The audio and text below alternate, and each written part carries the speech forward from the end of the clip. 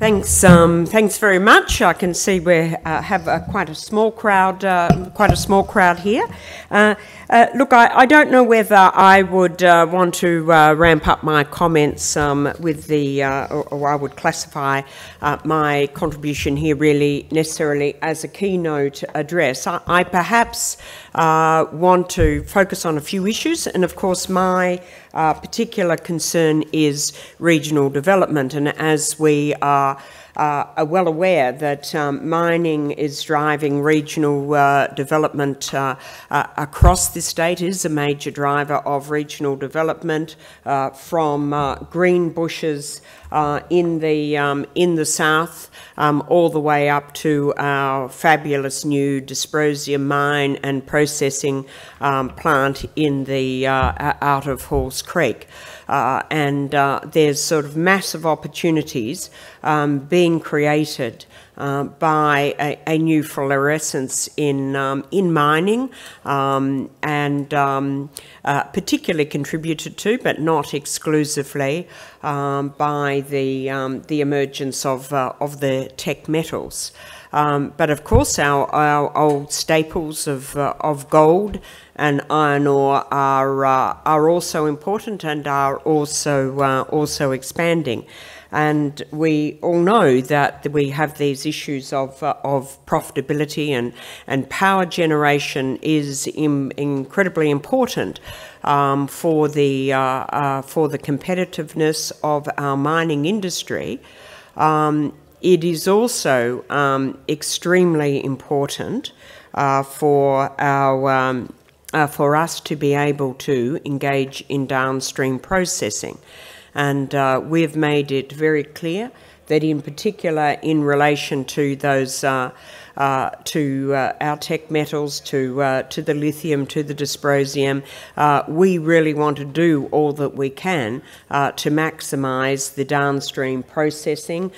in and in the case of of lithium, um, moving, of course, um, to at, at, a very early stage to refine to refining, um, but moving beyond refining uh, to cathode production and indeed battery production. And we can't see any reason why we can't do that. But obviously, um, the uh, uh, the price of uh, of metals, uh, sorry, the price of energy is a as a key factor. So, um, uh, in order to drive this. Um, uh, diversity in our regions, we need to pull down um, power prices. Now, there's been, and we know particularly looking at the Pilbara, but not exclusively in the Pilbara, the model that has been um, promoted um, by many of the mining companies over many years is the standalone fossil fuel generation. Um, each warlord uh, wants to be in charge of, uh, of their own uh, of their the production of their own power, and uh, we you know we are told that this is absolutely important for reliability and stability.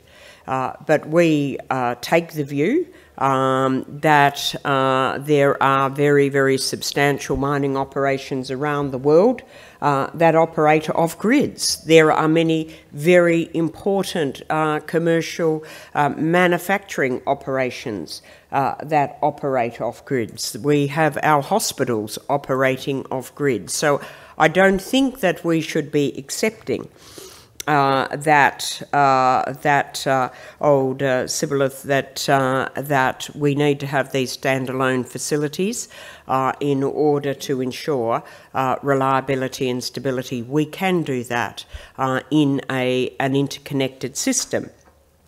And uh, now the model of that interconnected system obviously will change um, over time, but I think it is important for us to address this uh, to address this key issue and say that if we're going to drive down costs across the system, if we're going to allow uh, those opportunities for diversification in regional economies, if we are going to allow, for example, or to have some hope of, uh, of processing and doing real meaningful processing, uh, and uh, indeed seeing the emergence of other industries in the Pilbara or in the goldfields, we are going to need to do uh, uh something about uh, better integration into um, into into a into a grid. Now, we also, of course, the other issue, which is um, I can see from the papers, and it's always a disadvantage when you come down, you haven't heard what everyone else has said, but quite clearly, um, uh, an important uh, second issue, but deeply connected issue, is the uh, incorporation of, uh, of renewable energy into that power generation mix. Uh, and there's no doubt that, uh, uh, that solar, in a pure sense, um, putting aside the issues of reliability in solar alone, um, that it is uh, very competitive these days with um, fossil fuels, as is wind. Um, so we need to be looking, and uh, and this will only uh, increasingly be the case. So we have to look at how we can uh, develop all of these uh, systems together. And of course, we see as an increasingly important part of this whole of this whole project of how we uh, how we make renewables, uh, how we give renewables um, their place in the sun, uh, is um, uh, the, uh, the issue of hydrogen. Uh, that um, uh, the ability for us to fundamentally uh, uh, operate a, game changer uh, with the uh, introduction of, uh, of green hydrogen produced by renewable energy, used as a, a, a used fundamentally as a as a storage system, really does um, give us a great deal of um, of confidence that we are going to be able to get a very uh, considerable degree of, uh, of renewable energy um, onto the system uh, without compromising the, um, uh, without compromising the reliability. Now, I know, uh, and we're not talking about a system that is anything other than a hybrid. We've got, we will have, we've got lots of gas-fired uh, generation up in the uh, in the mix. But I think again, it is important for us to uh, to be uh, truly open uh, to the new possibilities of the technology. And I know there are, are many people that are, are wedded and, and, and really give um, uh, an extraordinary um, status to the issues of, uh, of inertia and the need to have large metal things whirling around to create the grunt uh, that is uh, going to, the, of, of, the spinning reserve. Um, but I think we have to keep our eyes open uh, to what really the changes are in the system and the ability uh, for uh, large scale storage uh, to uh, adjust and uh, uh, electronically to these issues that have previously been thought to absolutely demand um, that there be an underlying basis of, of spinning reserve. And um, with the very large um, battery, uh, Tesla battery, um, Samsung Tesla battery, over in uh, in South Australia. Um, uh, there have been uh, they uh, you know they have been able to adjust what they've been able to find that they've been able to adjust those uh, uh, those frequency variations more quickly through the battery than they could have through the uh, traditional spinning um, spinning reserve. Now, you know, obviously there's more work to be done on this, but I, I just know that perhaps often in this industry there is a, a, a weddedness to um, some very traditional concepts uh, that have been built up um, uh, over over time and, and, and deeply held uh, deeply held views. Um, but uh, I, I, think we have to be, and you know, it is good for us uh, to be prepared uh, to reconsider those uh, those issues um, when we have uh, when there is evidence uh, that suggests to us that with proper storage, be it massive lithium-ion batteries or be it um, uh, the use of, uh, uh, of, uh, of, of, hydrogen as a, as a storage medium, that there is ways uh, that we can indeed deal with it. but uh, I note from, I mean, the very fact of this um, conference is, is saying to us uh, that there is great interest here, and we know uh, that there are many mining companies now that are um, uh, incorporating uh, certainly at least solar solutions into their into their into their energy mix, and we have had uh, many people um, coming through our door uh, that are increasingly seeing uh, hydrogen, whether or not it be the blue hydrogen from uh, generated from gas or, uh, or the green hydrogen from renewable energy, uh, seeing a really very considerable interest in, um, in using that. And I think um, we uh, we, we as, uh, as a government are wanting to seize the, the new uh, opportunities with hydrogen, uh, understanding the important role that they're going to play as part of the whole renewable story, um, and, uh, and also the role uh, that um, hydrogen may well have as an alternative to natural gas in terms of, of exports um, to, and in particular, countries like Japan and Korea, um, who are very keen on, uh, as I understand it, uh, using this both um, for uh, standing generation, but also as a as a transportation fuel. There is a a view emerging in some countries that um, 20 years down the uh, down the road, when we've all got uh, moving towards electric vehicles, there might not be enough affordable lithium available for their countries, so they're wanting to uh, look at um, really reinvigorating that hydrogen fuel cell technology that was um, uh, that was.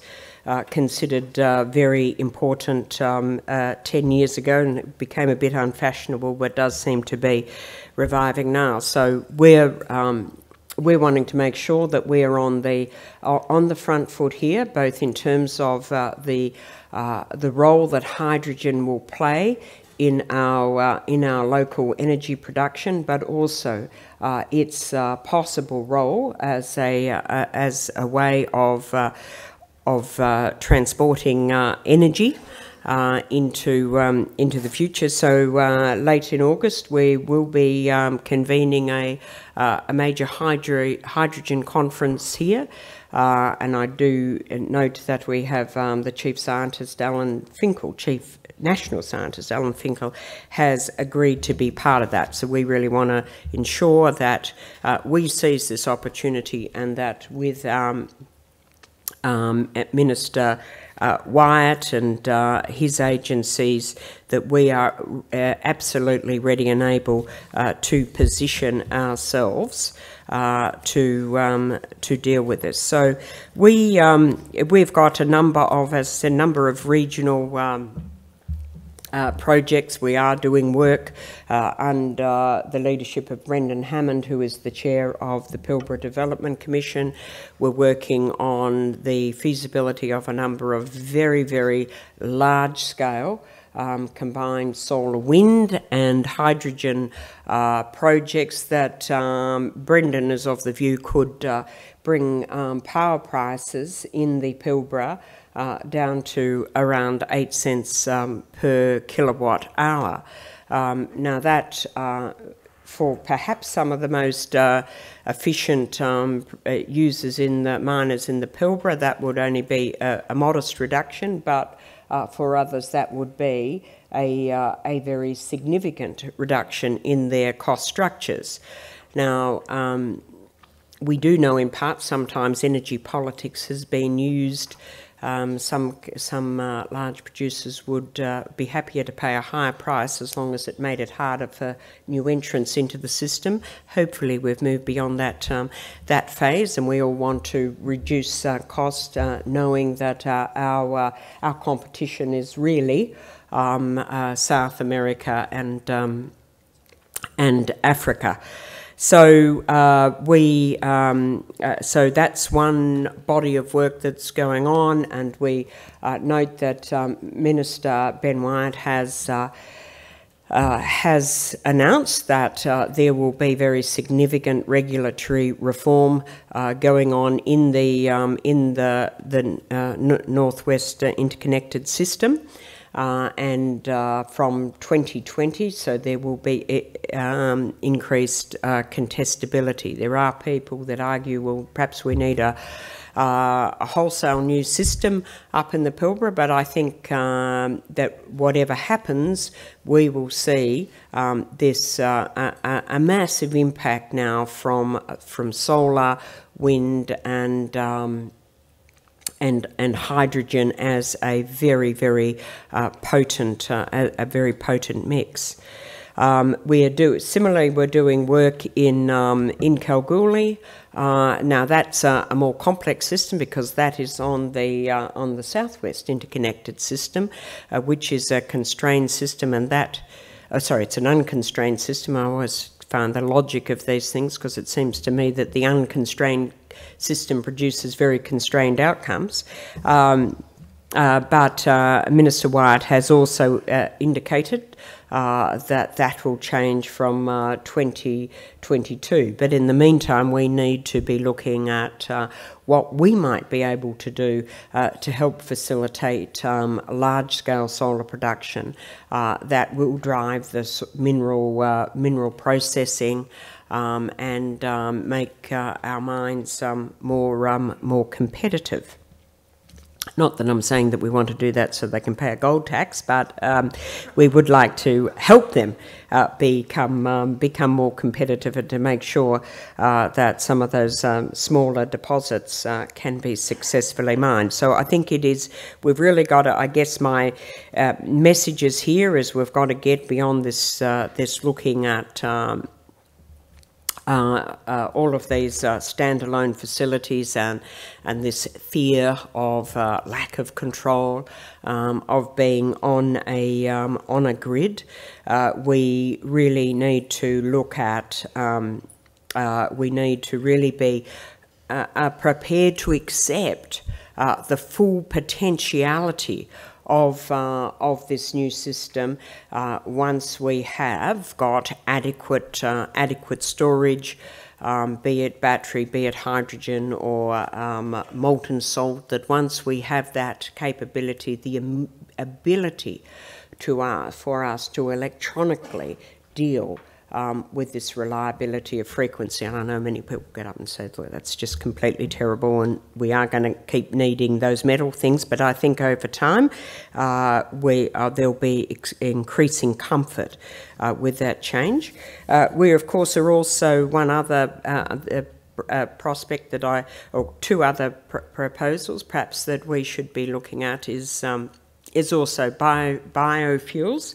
And although I think what we're, we're really looking at um, the use of, uh, of surplus um, biomass, we've mapped uh, the state um, working closely with the Commonwealth and Geosciences Australia, trying to work out where we have uh, excess biomass. And the feedback that we're getting is that there are many, many prospective opportunities here uh, but uh, in for biofuels, uh, but that the message seems to be that uh, perhaps it's not so much for the uh, direct uh, generation of electricity that this actually forms becomes the most useful format, but in, indeed as a as a source of of transport fuel, helping us drive down um, emissions and costs.